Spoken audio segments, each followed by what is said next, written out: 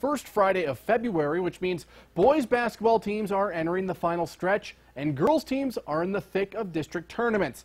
With that in mind, we bring in Taja Davis live in studio with more on the only girls district tournament in action tonight. Taja, welcome. Thank you, Jeff. And that's right. The Ririe Bulldogs have been ranked number one in the state 2A media poll for the past four weeks. But they say beating a team for the third straight time in a season is pretty hard to do.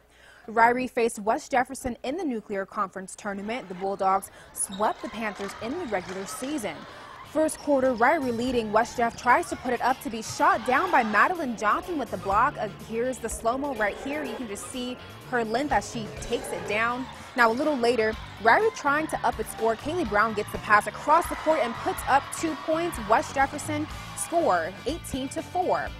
Now, Bulldogs with an air ball, but an offensive rebound by Ashley Larkson gets them two more points on the board. And Panthers ball, Chloe Moss tries to put in the jumper from Allison Seaver with the assist. Score West Jeff 20 to 6.